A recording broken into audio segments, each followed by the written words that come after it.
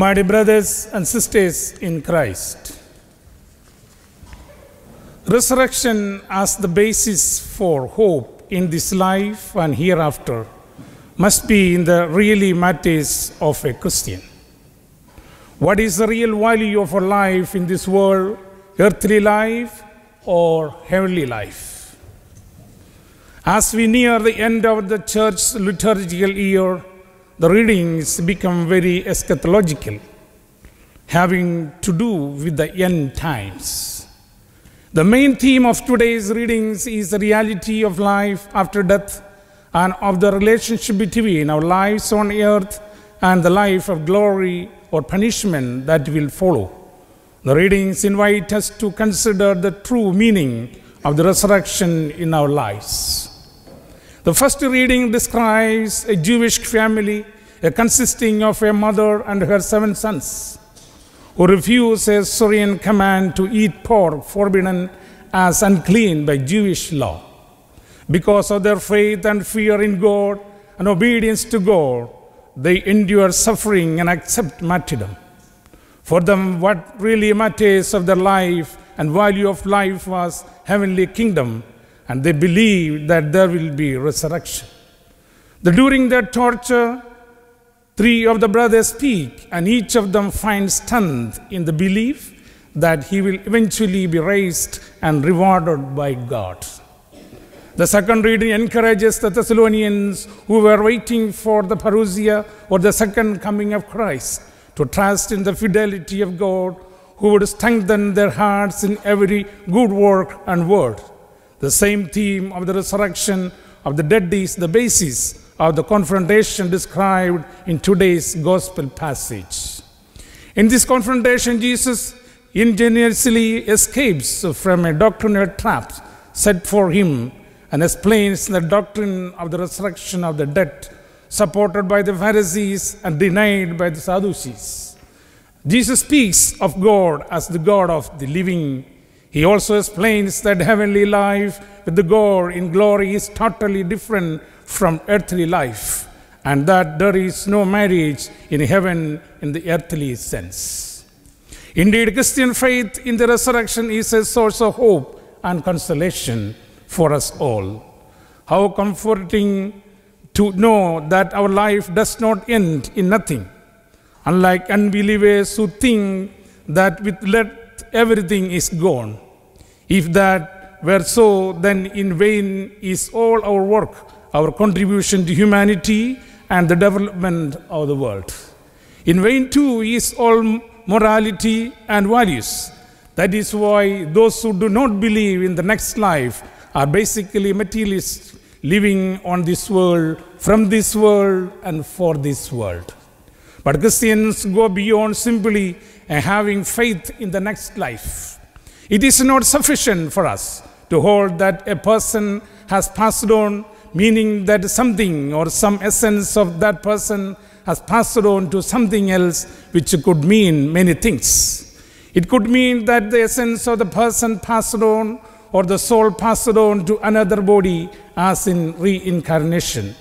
But it could also mean that only the memories live on in the descendants or the person's philosophy continues in the world. All these perspectives of life after death would be reductionistic for a Christian. A Christians believe not only in the immortality of the soul, but in the resurrection of the body. In other words, not only do we believe that the soul lives on, but that our body would be glorified, that physical corporeal body would be transfigured, and at the end of time, like Jesus, the risen Lord, who was raised from the dead by the Father in the power of the Holy Spirit. This faith is resurrection is proclaimed clearly in today's scripture readings. In the gospel, Jesus defends the truth of the resurrection of the body against the Sadducees who did not believe in the resurrection. He puts to rest their objection by citing the scripture text where Moses calls the Lord the God of Abraham, the God of Isaac, and the God of Jacob. Now he is God not of the dead, but of the living, for to him all men are in fact alive. The result, therefore, is that Abraham, Isaac, and Jacob must still alive even though they were no longer seen on earth, or else how could God be their God?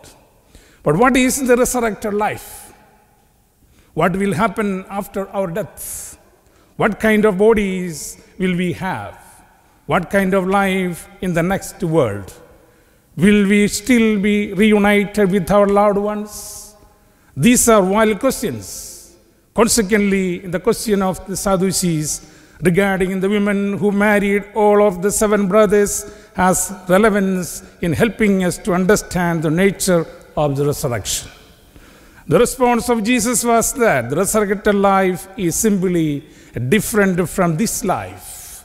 There is a transformation in the quality of life, both body and soul.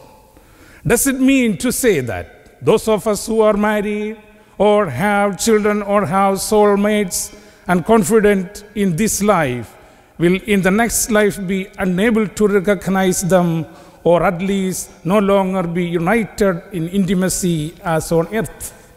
Of course, it is not. On the contrary, in the intimacy and the love in heaven will be stronger and more intense than ever. For on this earth, regardless how much we love another person, this love is still tainted with the selflessness, possessiveness, fear, and inadequacies. In heaven, we will be totally uh, loving and giving to each other, not just to our loved ones, but with all people, since love in heaven will no longer be exclusive but inclusive, will no longer be limited by human weakness, but be filled with the Spirit of God, will no longer be temporal but everlasting, will no longer be uncertain but permanent. Yes, relationships on earth are perfected in heaven, so to such a degree that it is identical with God's unconditional love for us. What is the life message behind all these lessons? Firstly, what, what is really matters and values of our life is the resurrection.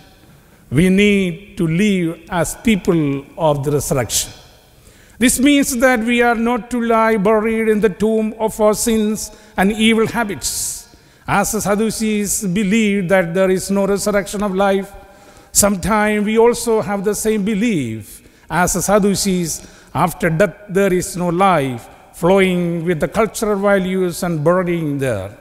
Instead, we have to live a joyful and peaceful lives, constantly experiencing the real presence of the risen Lord who gives us the assurance that our bodies also will be raised. In addition, the hope of our resurrection and eternal life with the God gives us a lasting peace and celestial joy. If we believe so, what are really matters of our life has value and not end with our death. It is only those immersed in such a culture that will stand up in faith before any persecution. An awareness of the all pervading presence of the Holy Spirit will help us to control our thoughts, desires, words, and behaviors. The salutary thought of our own resurrection and eternal glory should also inspire us to honor our bodies, keeping them holy, pure, and free from evil habits, and to respect those with whom we come in contact rendering them loving and humble service. Secondly, what really matters of our life is to stand against the culture that no longer values life. Even though we are not died and resurrected from the dead, but now we are experiencing death in the society itself because of the social evils, and we are eaten piece by piece by this kind of death. And the symptoms of the evils of this death are right in front of us, like divorce, euthanasia, abortion, total birth control, and etc., etc., etc. The piece by piece and one by one, we are killed by these evils of death. Are we ready to fight against these evils of the society And do we have a strong backbone to stand and raise our voice against the authorities who implemented these laws to the society as the young boys stood against the king, as we have seen in the first reading? How shall we face them? It is by hope and faith. And let us focus on this mission, and that is the real matters of the society, and let us stand against a culture that no longer values life. Thirdly, what really matters in our life is that we need to offer living worship to a living God. The reason we come together each week to pray for the needs of the community, the share with the word and bread, break the bread is that we have faith and hope in a living God who loves us and whom we love. If so, why do we have a fear God who has given the life to us? Our God is a living God and loving God. Respectable fear is always good. If God is the God of the living, should not worship of this God also be alive?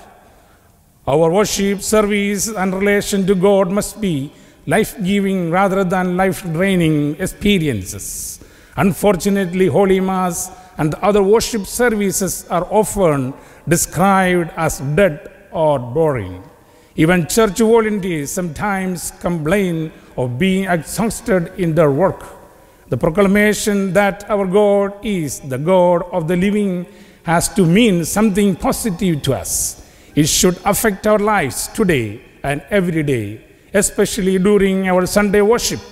In response to Him, our participation in prayers and songs during the Holy Mass should be active and our behavior in church reverent, though not gloomy.